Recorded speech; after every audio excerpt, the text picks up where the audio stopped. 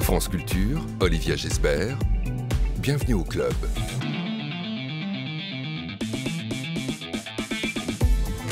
Bonjour à tous. Le club reçoit aujourd'hui l'artiste Maya Rocha dans sa nouvelle exposition Poetry of the Earth, à voir à la Maison européenne de la photographie jusqu'au 1er octobre. La plasticienne nous montre la Terre sous un autre jour, toujours ronde. Bien sûr, c'est à une autre échelle que l'artiste travaille, à souligner les beautés de la nature en inventant des mondes organiques, vivantes, colorées, fluorescentes. Ses œuvres jouent des superpositions et des transformations. Venue de la photo, la Suissesse a depuis agrandi son cadre, élargi l'écran elle peint à la bombe, elle performe, elle édite. Oui, elle documente aussi son processus créatif dans des livres entre œuvres en soi et making-of de l'artiste. Celui qui accompagne l'exposition s'appelle Percevoir. Maya Rocha, elle est notre invitée. Une émission programmée par Henri Leblanc et Anouk Delfino, préparée par Laura Dutèche-Pérez.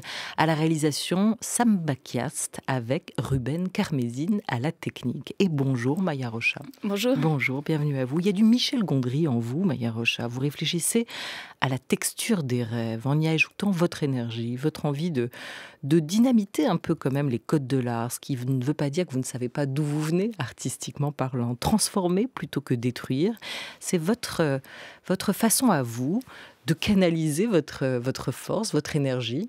Absolument. Et je crois aussi que la, la création et la destruction sont intimement liées. Et j'ai accepté du coup qu'il y ait une forme de destruction pour aller vers quelque chose qu'on ne connaît pas encore. Ils ne le sont pas simplement en économie alors, ils le sont aussi en art. Comment vous les reliez? Comment, ça, comment, vous reliez les, justement la, destruction et la transformation? Par l'observation. En fait, j'aime euh, regarder ce qui se passe devant moi et de pas avoir une sorte d'idée d'où je vais, mais plutôt de vraiment d'observer et euh, de m'amuser de, des rencontres, des matières et par moments aussi d'aller un peu trop loin et de faire comme on ne devrait pas faire. En fait, c'était une sorte de manière pour moi de me libérer du, de quelque chose de plus scolaire. Et c'est aussi une manière de faire du plein avec du vide. Absolument, hein, D'une certaine façon. Qu'est-ce qui vous met en colère parfois? Euh, Ce qui me met en colère, c'est la, souffrance inutile, c'est la destruction de ce qui est beau et euh, une sorte d'incapacité de mouvement actuellement. J'ai l'impression qu'on est tous un peu dans un état de tétanie et ça me, d'un côté ça me rend triste et de l'autre ça me rend aussi en colère. Qu'est-ce qui nous paralyse? Un sentiment d'impuissance? J'imagine la terreur, un sentiment qui évidemment nous prend euh, dans, nos instincts et nous bloque en fait dans le mouvement. Il s'agit d'une forme de, survie interne que je comprends et en même temps j'aurais envie d'amener avec l'art et la beauté comme une capacité de, dépasser cet état pour euh, revenir vers le mouvement. Ouais. Et l'art a cette capacité-là, vous pensez, à ce pouvoir-là? J'en rêve. L'avenir nous le dira. Mais vous y croyez? J'y crois. Et ça passe quand même aussi par euh, la nécessité d'ouvrir euh, les portes de l'art, de le rendre plus accessible pour vous. Oui, et il s'agit d'art, mais il s'agit aussi de la vie et de, finalement de ramener l'art dans notre vie. C'est toujours quelque chose qui m'a beaucoup intéressé, c'est-à-dire pourquoi est-ce que l'art est que dans le musée? Donc j'ai amené l'art à l'extérieur du musée, puis maintenant j'essaie aussi par le livre par exemple des objets d'amener l'art dans le foyer des gens, dans les salons, qu'on puisse euh, cohabiter avec cette couleur et, cette magie de la vie. Oui, parce qu'on fait, on fait pas de l'art pour les musées, euh, à, vous entendre. Hein. Ce sont des, temples pour l'art, mais ce sont aussi des lieux forteresses. Quand vous, vous rêvez d'être une artiste euh, passe-muraille, mais c'est pas si évident de démocratiser ce travail. Vous, vous avez un support, un matériau qui aide à cela. Il a aussi ses écueils, il a ses dangers, mais il a cette possibilité de, de voyager et de toucher le plus grand nombre. En fait, je devrais dire elle au lieu de il, puisque c'est l'image. Hein. Mhm. L'image est au cœur de votre travail, de votre pratique. J'ai la chance d'avoir un langage visuel qui peut se déployer et qui peut se traduire dans différentes euh, structures et, espaces. C'est-à-dire euh, Par exemple, un, langage organique, euh, je vais scanner une petite peinture qui va pouvoir être, fonctionner en, en, original, puis ensuite je pourrais l'imprimer en 25 mètres par 35, une grande bâche sur un bâtiment. Et finalement, le motif il tient en fait dans, dans, ce, dans cette taille, alors que par exemple un portrait, euh, quand il explose, ça devient beaucoup plus compliqué. L'abstraction permet finalement, pour moi en tout cas, de, de gonfler, de réduire euh, la taille de mes images. Alors, reste qu'en ce moment, vous exposez. Vous êtes là aussi à l'occasion d'une exposition qui est à voir à la Maison européenne de, la photographie. Vous, vous exposez, mais vous éditez. Vous éditez en même temps un livre, ce livre Percevoir, qui permet de raconter euh, votre pratique. Et on a le sentiment que vous voyez tout, ou vous, vous visualisez et pratiquez aussi euh, votre art de cette manière-là. C'est-à-dire d'abord, je crée mes images, ensuite, je pense à la manière aussi de les, de les diffuser. Ce livre qui mmh. accompagne l'exposition, euh, il a été voulu, il a été pensé comme une œuvre d'art en soi. C'est-à-dire pour ceux qui ne peuvent pas se permettre, euh, s'autoriser ou qui n'auraient pas l'envie de pousser mmh. la porte d'un musée, il y a ça. Absolument, oui. Et d'ailleurs, c'est pas qu'un livre, c'est un livre Percevoir, donc chez La Martinière, et puis un second livre d'artiste que je publie chez Réfiction et qui lui est vraiment comme une œuvre d'art à part entière dans l'exposition. C'est pas le catalogue de l'exposition, c'est vraiment une œuvre que j'ai créée qui condense finalement toute l'exposition et que moi j'utilise comme un dictionnaire et qui est vouée ensuite à être exploitée à chaque exposition. Je vais revenir à cette espèce de matrice dans laquelle toutes mes images sont, sont présentes déjà, alors que peut-être dans la photographie plus traditionnelle, on fera le livre après les images. Vous le rouvrez, vous, parfois, ce livre? Oui. Pourquoi? Euh, Parce que j'ai besoin de me rassurer qu'elle tienne dans le temps. Et d'ailleurs, souvent, quand je fais un livre au début, je l'aime pas. Et ça me prend à peu près six mois pour comme le digérer et me le réapproprier. C'est aussi un, parcours assez pénible de faire un livre. Ça prend beaucoup de temps et puis de, réflexion. C'est plein de petits ajustements, surtout en fin de parcours. Et à un moment donné, moi, j'ai un peu besoin de, rejeter, comme aussi de ne pas avoir peur de ce qu'on va penser du livre. Et donc, je dois m'en détacher émotionnellement. Qu'est-ce que, oui, où est l'importance de se dire que ces images, ces œuvres tiennent dans le temps. Euh, qu'est-ce que mm. le temps apporte comme, euh, comme garantie, le temps qui passe? C'est comme de, me dire que mes images sont connectées à une forme de réalité qui les, qui les tient actuelles. Et Mais qui les dépasse aussi. Et qui les dépasse, Il y a une sorte de magie en elles et une intemporalité. Et puis il y a d'autres images aussi qui, ben, dans le temps, elles, euh, elles sont plus aussi importantes pour moi, aussi intéressantes. Et d'ailleurs, dans l'exposition, c'est intéressant parce qu'on montre différentes périodes de création. Et euh, quand je vois mes travaux d'il y a dix ans en arrière, je vois une violence dans, cette, euh, dans ces images avec laquelle je suis plus à l'aise aujourd'hui. Et ça, ça me, ça me réconforte dans le fait que mon parcours a évolué et que j'ai pu euh, peut-être m'assagir un petit peu aussi à travers mon travail. Vous avez quel âge aujourd'hui euh, Bientôt 38 ans. Bientôt 38 ans. 37 et demi traqueur. vous avez encore le temps de vous assagir. Restez un peu en colère parce que ça permet quand même, mhm. et on va le voir et on va, on va l'entendre, de continuer à, à, créer, à sortir du cadre. Euh, on va écouter les mots de Simon Baker. Il est celui qui a imaginé aussi cette collection Percevoir, publiée à la Martinière. Euh, c'est un grand nom de la photographie. Il est aujourd'hui à la fois éditeur et directeur de la MEP à Paris, la Maison européenne de la photographie en fait, pendant mes études, j'ai passé le plus de temps dans les magazines euh, surréalistes. Et comme ça, c'était vraiment intéressant qu'on voit les œuvres d'art dans, une, comme euh, Jean-Luc Monterosso a dit, dans un, un contexte intime on, dans les magazines de, de, surréalisme, on peut euh, considérer que les photos sont, toujours euh, mélangées avec les autres choses et c'est toujours une expérience euh, très très intime. Et pour moi, c'est toujours le destin des, photographies d'être de, sort des ateliers des artistes dans les manières différentes. Ça peut être en, livre, en magazine, et maintenant en ligne. On peut dire que les photos veulent toujours sortir des, mains des, des, artistes pour arriver euh, pour, les publics, euh, pour voir différemment.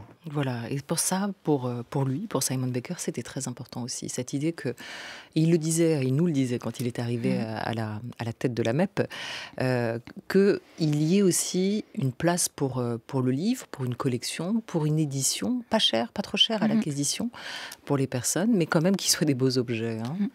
Ben, en soi, le livre, c'est un objet généreux par définition parce qu'il offre tellement d'images compacté. Euh, c'est une exposition en un livre. Et euh, moi, j'aime bien cette idée d'avoir à chaque page une œuvre d'art qui, se donne à voir. Et parfois, d'ailleurs, on la traite un peu mal parce qu'elle nous paraît tellement, tellement bon marché. Mm. Et c'est vrai qu'avec euh, Simon Baker, c'est quelque chose qu'on partage, cette passion pour le livre. Et c'est aussi autour d'un livre qu'on s'est rencontré à la Tate Moderne, où il avait organisé la foire Off-Print pour la promotion de livres d'artistes. Et il a vu un de mes fanzines noir-blanc à l'époque, c'était tagué à la bombe, un objet comme ça un petit peu farfelu. La Tate où vous aviez performé hein, aussi. Oui, deux ans après, j'étais invitée pour faire une exposition dans Shape of Light et ensuite une performance qui pour moi reste un de mes highlights euh, au South Tank de, de la Tate moderne. C'est quoi un highlight? C'est le moment épique, les feux d'artifice, euh, le grandiose. Il s'est passé quoi? Vous aviez fait quoi? Euh, J'ai eu la chance de performer avec Buvette, qui est un artiste suisse qui, est basé ici maintenant. Un musicien sonore, pour moi, toujours important d'avoir quelqu'un qui, comme moi, est un, créateur. On se retrouve les deux dans l'espace. En plus, on est drôles les deux parce qu'on a un peu ces longs cheveux bouclés et on baisse la tête, on fait notre petite cuisine. Et euh, j'aime beaucoup aussi, lui, sa capacité poétique d'interagir avec les textes que je propose dans, dans, mes livres. Et ça crée vraiment une expérience euh, unique pour le, pour le visiteur et aussi quelque chose de ludique, plaisant. J'avais envie de créer une performance artistique qui, qui, amuse, sur laquelle on puisse même danser, libérer un peu le corps en fait dans, dans le musée.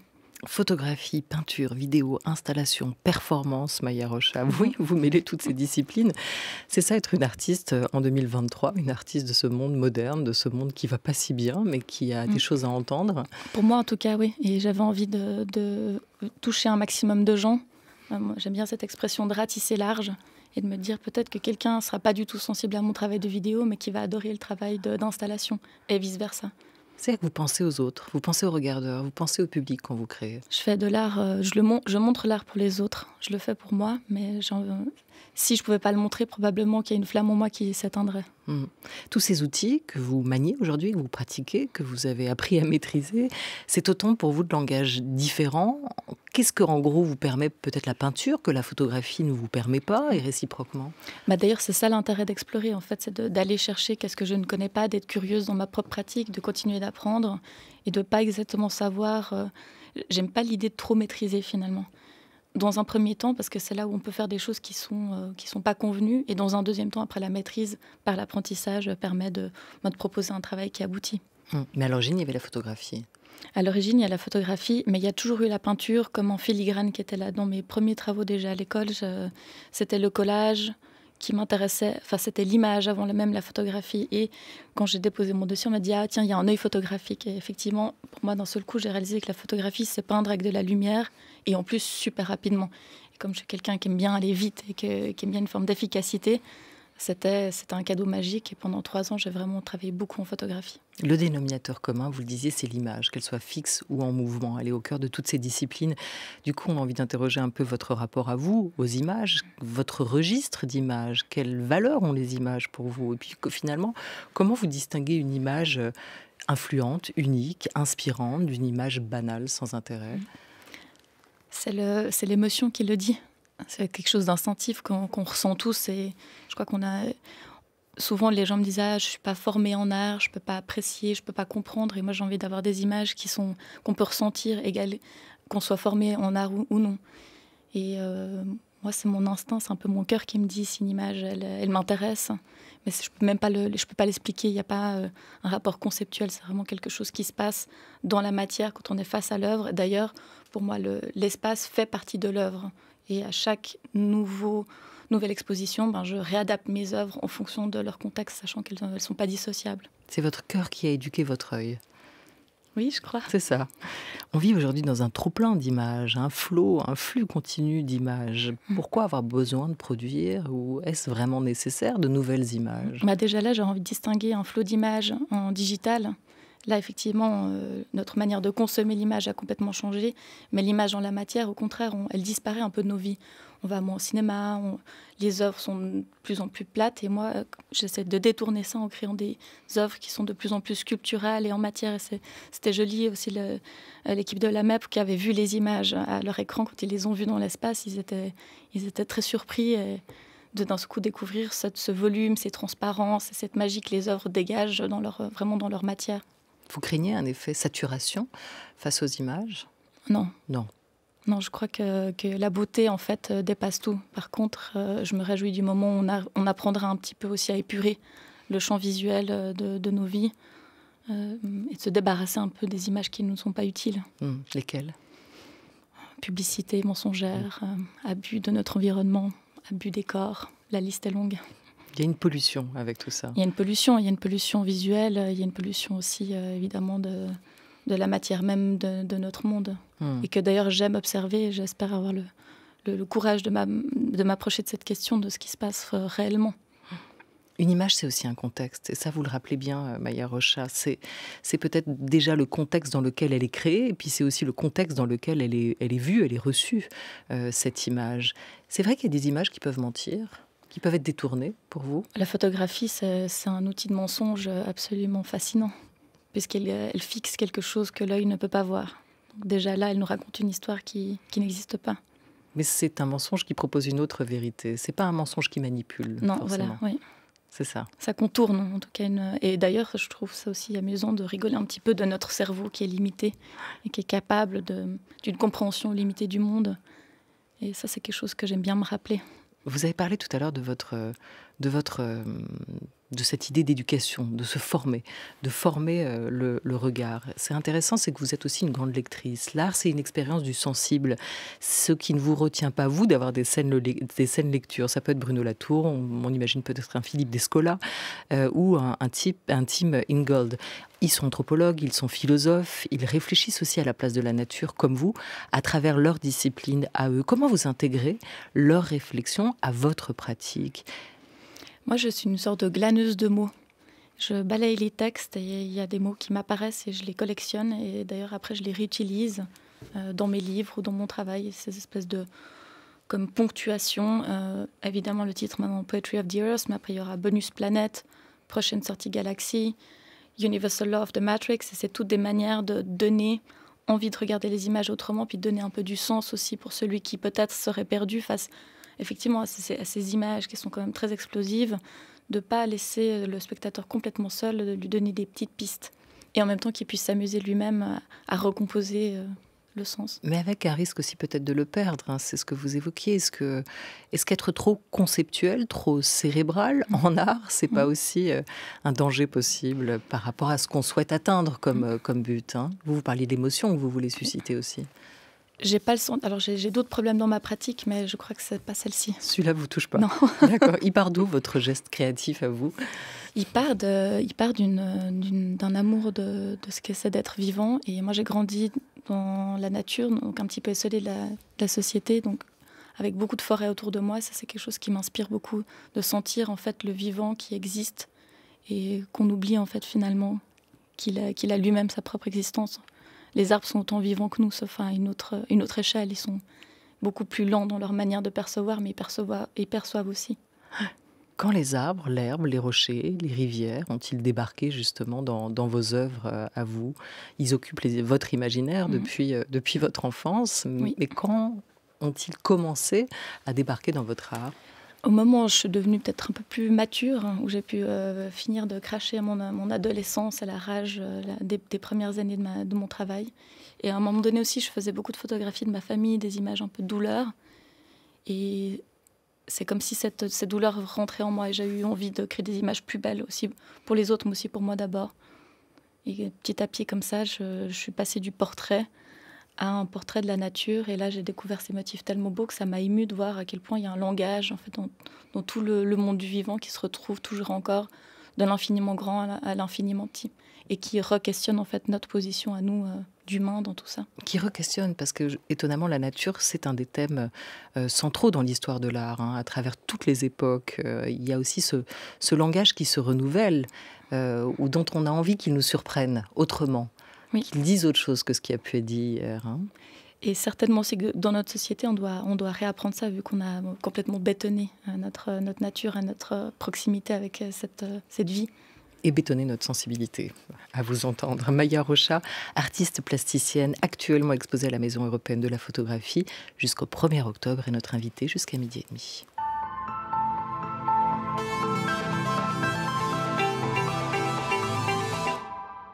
Quand on vous interroge, Maya Rocha, sur vos sources d'inspiration, vous répondez venir plutôt du hip-hop et de musique un peu plus rude, de textes plus rudes.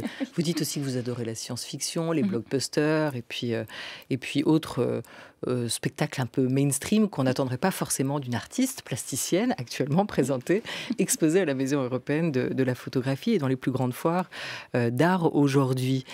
D'où vous vient, d'où vous vient du coup cet éclectisme? Qu'est-ce que vous avez trouvé d'abord dans le hip-hop euh, et, ces musiques un peu rudes? C'est euh, l'énergie, l'énergie de, s'exprimer, une forme de poésie euh, autant dans la violence que dans la beauté. Et j'aimais bien l'idée de prendre de la place, en fait, de, se faire entendre. Et ça, c'était quelque chose qui m'a aussi, au début de ma carrière, beaucoup, beaucoup inspiré. Le côté vraiment explosif. Et après, oui, j'assume mon côté blockbuster. Ça m'amuse énormément. Et je crois aussi que dans l'imaginaire collectif, on, on sent déjà ce qui vient après. Donc vous continuez à aller voir des blockbusters au cinéma, pas que des films d'auteur Pas que des films d'auteur. Le dernier film que vous avez vu, c'était quoi? Euh, ah. En blockbuster, euh, Avatar 2. Ah, Excellent. Excellent. Magnifique. En lunettes 3D. C'est un plaisir euh, absolu, je pourrais retourner. Vote for Me, c'était une de vos premières œuvres réalisées mhm. en 2012, proche justement aussi du graffiti, du street art, avec ce, bombage fluorescent que, que vous pratiquiez. Vous, avez, vous êtes arrivé en art aussi avec ça, avec cette mhm. culture-là. Hein. Et d'ailleurs, votre famille, c'était euh, quelques années avant les réseaux sociaux, donc c'était déjà presque une sorte de manière de faire campagne avec ce personnage que je me suis inventé, qu'on trouve dans le livre, ce personnage féminin qui est un peu décadent et qui essaye en fait de faire son autopromotion. Et ça, ça m'amuse toujours de voir comme dans mon travail, après, il y a des choses qui comme se déploient dans la société. C'était les débuts du moi, moi, moi, euh, mhm. que les réseaux sociaux n'ont fait qu'amplifier à ce moment-là. Vous citez aussi souvent la si déjantée Viviane Westwood, Amazon punk, iconique pour vous. On va l'écouter parler du beau mot de talent.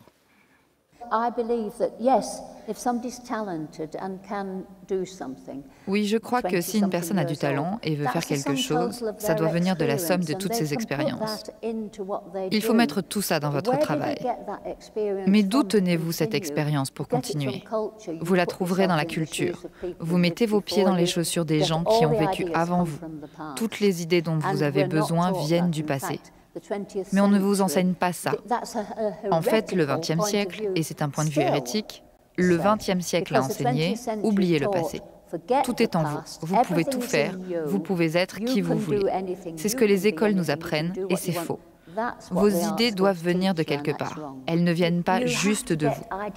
Et donc, peu importe de quoi vous tombez amoureux, ce qui compte, c'est comment vous faites les choses.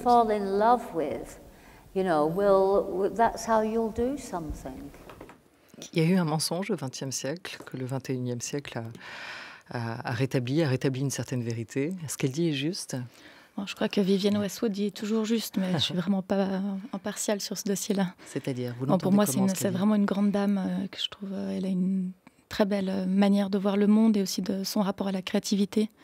Et j'ai beaucoup aimé aussi cette figure féminine qui propose aussi une, manière de vieillir bien avec euh, ses cheveux orange. Moi, j'étais jeune artiste, j'ai vu. En plus, je venais de la forêt avec cette hache sur la sur l'épaule et c'est vraiment une figure. Donc ça me, ça, me, touche que vous passiez cet extrait de l'entendre parler comme ça. C'est une photo d'elle, hein, une photo de, de Jürgen Teller. Exactement, oui. Qui, la montre comme ça en Amazon, mhm, hein, mhm. Euh, là encore. Et ce qu'elle dit, c'est très juste. Euh, moi, je ne crois pas que les artistes, on soit des sortes de génies et que, que ça, tout ça sort de nous. Pour moi, on, a un canal qu'on peut ouvrir et puis recevoir du coup les informations dans l'inconscient collectif. Et j'aimais bien cette image que l'artiste, on a juste le courage de mettre sa main dans un trou noir puis d'aller chercher quelque chose qu'on ne sait pas ce que c'est. Et d'ailleurs, c'est assez amusant de voir qu'il y a des artistes dans différents endroits du monde qui proposent plus ou moins les mêmes travaux sans être connectés. Et ça, ça me, moi, ça me réconforte beaucoup de me dire qu'on est comme des fourmis éclaireuses et puis qu'on compagnonne finalement chacun dans notre petit domaine, mais qu'on travaille vraiment ensemble. En fait, on n'est pas des concurrents. Ça, c'est plutôt quelque chose d'un peu récent d'une vision plutôt capitaliste et, commerciale de l'art. Et moi, j'ai envie de croire quelque chose d'une sorte de poésie euh, qui nous lie tous dans la créativité. D'ailleurs, c'est pas que dans les, les arts plastiques, c'est la musique également. Il y a cette connexion entre nous. C'est dur de vivre de son art aujourd'hui encore, Maya Rocha avant d'avoir passé un certain stade? Je crois pas. Je crois que c'est dur de ne pas faire un travail qui nous plaît vraiment. Et euh, moi, j'ai tellement de beauté dans ma vie. Alors oui, je, c'est beaucoup d'heures de travail, c'est beaucoup aussi de, par moments de doute, de remise en question, mais si, ça, me, ça me plaît aussi de vivre comme ça. Il y a trois ans, vous aviez publié Living in a Painting. Si vous pouviez vivre aujourd'hui dans une peinture, laquelle vous choisiriez? Où est-ce que vous poseriez votre valise? Dans mes peintures à moi. Dans le sens où je, me suis créé ce monde aussi en couleur. Je me suis créé une nouvelle réalité à travers mon travail. Et qui est aussi venu peut-être soigner quelque chose en moi. D'un seul coup, d'être dans cette, dans cette beauté, ce volume, et que je pouvais vivre mon art par mon corps, par exemple, de faire un sol de 100 mètres carrés qui est coloré, où du coup, je me, je me balade dans ma peinture. Et ça, je trouve que c'est un exercice qui est assez magnifique. Elle ressemble à ça, votre maison, votre atelier? Mon atelier, oui. Ma maison, non. J'essaie de, séparer un peu les deux, de garder quelque chose d'un peu épuré. Mais en vrai, c'est comme si l'atelier, petit à petit, infuse la maison. Ce qui est passionnant aujourd'hui, c'est aussi comment on est en train de renouer, de retrouver des, des techniques artistiques plus, plus artisanales et, de, les, de les rendre vivantes. Mm, c'est comme la nature, finalement. Que... Et, c'est le retour de la matière. Ouais. Et je pense à la lithographie hein, qui, mm. euh, qui, euh, qui vous a aussi inspiré, ce lithographe avec lequel vous avez travaillé, avec lequel vous avez aussi expérimenté des nouvelles technologies, euh, techniques d'impression hein, pour mm. ce livre. Absolument. Alors, c'est même à la base même du travail Poetry of the Earth, c'est avec Roger Mneger, on s'est dit on a envie de faire un livre qui expérimente sur c'est quoi l'impression et de pousser vraiment cette technique au maximum de ce qu'on ce qu'on peut faire en termes de beauté. Qu'on a imprimé en panchromie, c'est un peu technique, mais du coup on est en sept couleurs et pas quatre. Et ça fait que toutes, euh, toutes les pages sont, sont, très très belles avec des changements de papier et euh, aussi des papiers qui vont être réfléchissants, d'autres transparents et qui font vraiment qu'on est face à un objet physique que si euh, on le voit sur Internet, on peut même pas comprendre qu'est-ce que c'est ce livre. Et j'aime bien qu'il y ait cette surprise. Au moment où on a l'objet dans la main, on se dit ah tiens, je m'attendais pas du tout à ça. Qu'est-ce que c'est une matière vivante? J'espère. Qu'est-ce que c'est? Mais qu'est-ce que c'est? Euh, quand est-ce qu'elle prend vie? Qu'est-ce qu'il faut faire Elle prend vie quand on la regarde. D'ailleurs, comme toute, euh, comme toute œuvre d'art, pour moi, elle n'existe que dans le regard de celui qui est là. Hmm. Aujourd'hui, vous avez 38 ans, vous nous disiez? Presque. Oui, presque, pas, encore. Je profite. Vous regardez et, vous le racontiez souvent d'où vous venez. Est-ce que hmm. vous avez bien en tête aussi ou envie de savoir où vous allez? J'ai envie de faire confiance que, que, je vais là où il faut aller et ça me fait un peu peur l'avenir. Alors, euh, effectivement, je regarde en arrière parce que je sens que c'est aussi ça qui, me, qui est mon moteur et puis peut-être mon, angle aussi sur comment je perçois la société. Et de l'autre, euh, je crois que à moyen terme, c'est le retour à la nature qui, qui va m'appeler. Ah oui, c'est là le faux alors. il faut aller. Il n'y a pas un endroit, une destination, il y a celle que vous choisirez. Exactement. C'est là, là où je me sentirais bien. On rappelle le titre de cette exposition Poetry of the Earth. La poésie de la Terre, donc qui est à voir à la Maison européenne de la photographie jusqu'au 1er octobre. La plasticienne artiste Maya Rocha était notre invitée. Merci beaucoup. Merci beaucoup pour l'invitation.